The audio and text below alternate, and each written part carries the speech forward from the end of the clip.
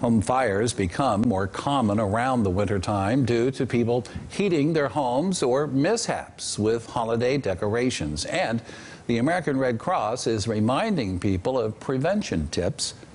To prevent a fire, the Red Cross says that people should make sure all heaters are plugged into an outlet and not an extension cord.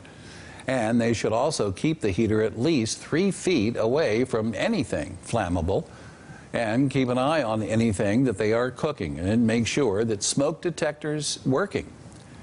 Red Cross says that the number one disaster it responds to is home fires.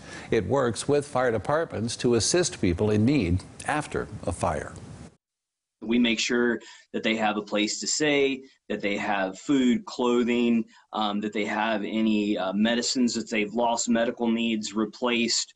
Um, we provide provide them with emotional support, and then we work with them to base to build a plan for how they're going to move forward.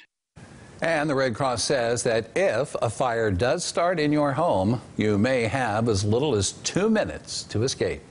Once you are out of the house during a fire, never go back inside for anything or anyone.